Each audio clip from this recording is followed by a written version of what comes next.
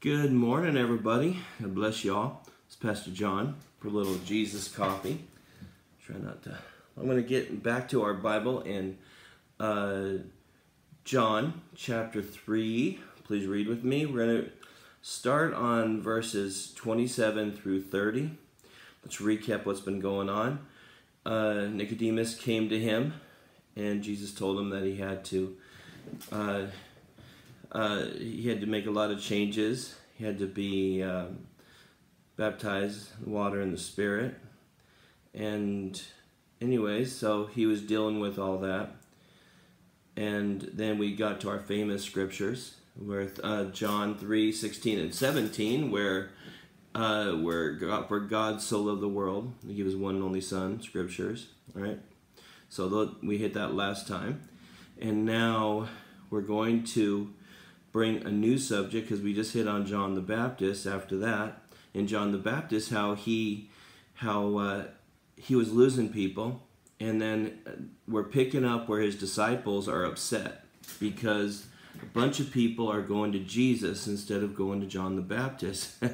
and uh, they're jealous and they're mad because people aren't coming out in droves in the thousands like they were before to John the Baptist. So let's pick it up. Right there, I'm going to read in uh, John uh, chapter 3 and 27 through 30. So if you guys don't mind reading with me or get your Bibles or your phones out, that'd be great. Thank you. John answered and said, A man can receive nothing unless it has been given to him from heaven. You yourselves bear me witness that I said, I am not the Christ, but I have been sent before him. He who has the bride is the bridegroom, but the friend of the bridegroom, who stands and hears him, rejoices greatly because of the bridegroom's voice. Therefore, this joy therefore this joy of mine is fulfilled. He must increase, increase, but I must decrease. Wow. Seriously powerful. First of all, I just want to get all the people right, so uh, the names right. Um, the bride is us. We're the bride of Christ, the Christians, the believers. Uh, the friend is John in this story. Uh, and the bridegroom, of course, uh, is Jesus. So, all right, now let us get to the first part of this. As a man can receive nothing, in verse 27, chapter 3 in John. A man can receive nothing unless it's been given to him from heaven. So John answers his, his the worried disciples first that uh, that everything he had, including those who res responded to his ministry, were a gift from God. Oh, that's good. Wow. So it's so important to understand that this is not your church, your ministry your it's you don't own it. We don't own it. We're just caretakers. Now, we're blessed to be caretakers, but we don't own the ministry. I don't own this church that I'm in. There's a lot of people here. We have a board and leaders, and they're all important. And they're all a team. But in the end, it's God's church. And He's put a steward over the church, which is me. I'm the pastor. And the same thing, it may be if you're a ministry, maybe you teach in a Sunday school class, maybe you have a marriage ministry or a youth ministry or a children's ministry, you or maybe you have ministry in the media or in the nursery or in the cleaning or the cooking or whatever, hospitality. All those things are important. Everything's important at church, but it's not your ministry. We're stewards of God's ministry. And he's saying that I, I wouldn't have anything if God didn't already give it to me. God gave you what you have. So it's His, He's the owner, you're the one working in it. Very important point. He said, I am, then he said, I said, I am not the Christ, but I have been sent before him. Oh, I love this about John the Baptist. He knew who he was. He knew his role, he knew his place, he knew who he was as a person in Christ, in the Lord, in the gospel. he knew his place. He knew his calling. He knew where he belonged. He knew what God wanted for him. I want to ask you today do you know? Do you know what God wants for you? Do you know what He's asking for? Do you know what He's He's calling you to do? If you don't know, I encourage you to just seek the Lord. Take some time, pray, fast, wait. Ask God, Lord, what do you have for me? What's my role? John the Baptist knew his role. What is my role, Lord? All right, I'm going to keep the pace up here. He's a friend of the bridegroom. He makes a great point. If you go to a wedding, then at a wedding, no one stares at the friend of the bridegroom. No one stares at the guy next to him. No one stares at the one in, the, in watching the wedding. Everyone stares at the bride and the bridegroom. No one stares at anyone else except those two people, maybe the preacher, which is awkward sometimes, me being the preacher. All right, so when I get says therefore he says therefore this joy is mine. Um, this joy of mine is fulfilled. John basically lost his church, lost his congregation to the guy across town. the guy across town happened to be Jesus. He was fine with it. He lost thousands and thousands of people. They were cheering, they were waiting on his next word, they were fired up, they were getting baptized.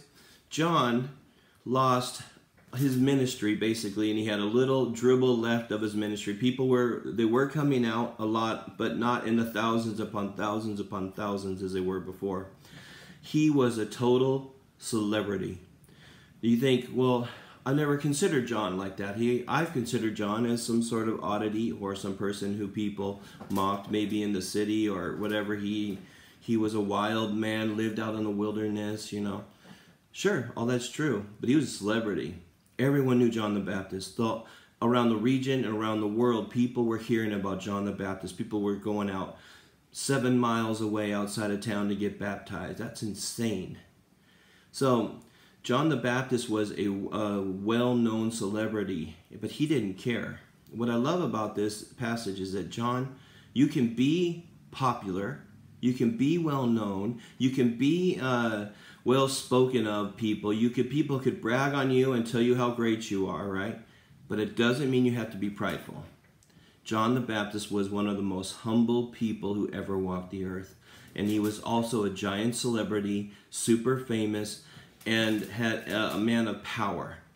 His words had power to change lives, and people would go and they would listen to him. And some would mock, some would would would uh, be against him. But as, as a whole, he was he was a powerful man who the the city feared, and the Jews especially feared the leaders of the Jewish uh, of the Sanhedrin. They feared him because he was such a powerful guy and famous. But he was humble. You you can be humble in any circumstances. Humble is not about how people treat you, it's how you respond to all that adulation. Give God the glory, give God the praise, give God the honor, give God all that's due His, and don't take any glory for yourself. Amen. I heard that. Thank you. Appreciate that. Amen right there. Good job. All right. Now, I want to go a little further here. It says that um, John didn't regret that people were attracted to Jesus. He, to him, that was the goal. He needed people to be turned to Jesus. We want people to talk about Jesus, go to Jesus, be about Jesus. And we just do our role, but he, we want people to do that and not for them to be focused on us. And then he hits him with the big line here. He says, He must increase, but I must decrease. Oh man, the battle cry of every believer. That we decrease, we decrease, he increases. Wow, that is that is just a powerful, powerful, powerful statement. I mean, that we become less and he becomes more. The more we become less, the more we are in Christ. The more he becomes more, we're in Christ. So John the Baptist also didn't quit his work. He kept working.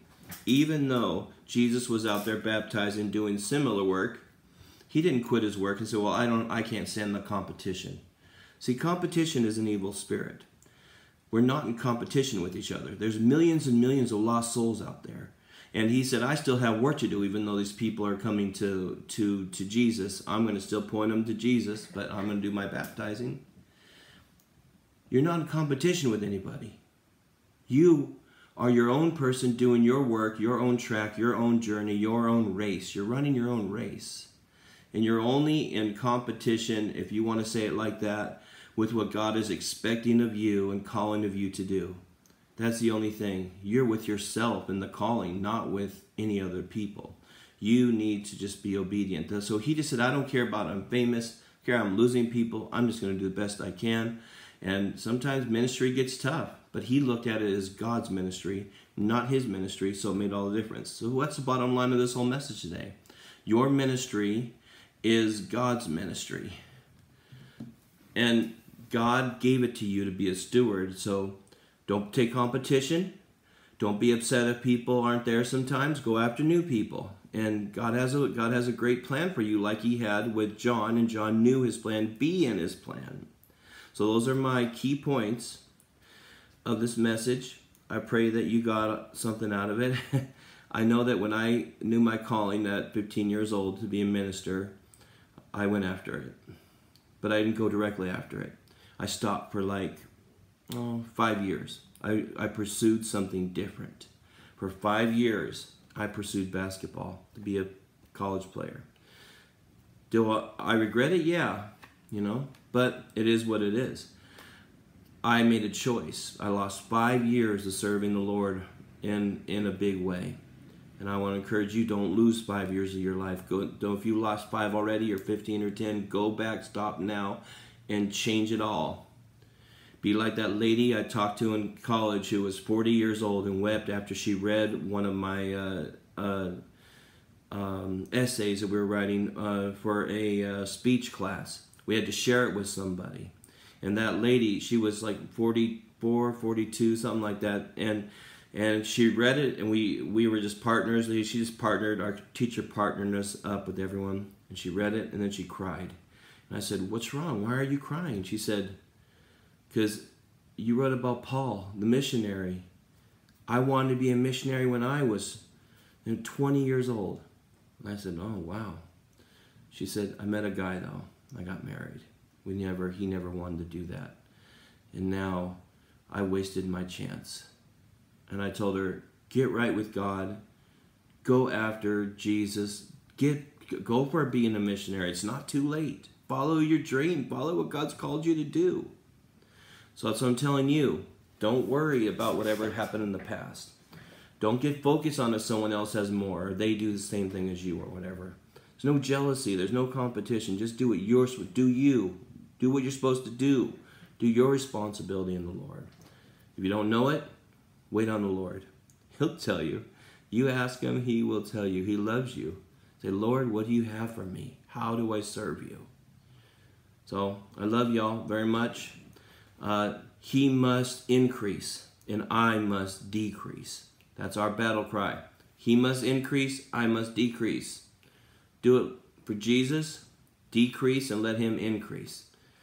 Well, you all be super blessed. Remember, God is for you, He is in you, and He is with you. You can't lose. So be super blessed. Bye.